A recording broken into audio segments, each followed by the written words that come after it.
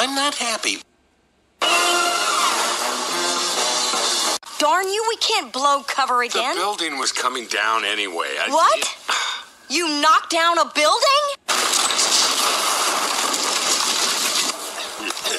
Look, I performed a public service. You act like that's a bad thing. Knocking down a building is a bad thing, Bob. It was just a little workout. Darn you, we can't blow a building. The building was a bad thing. I can't believe you don't want to go to down. No. Because that's a bad thing. Okay?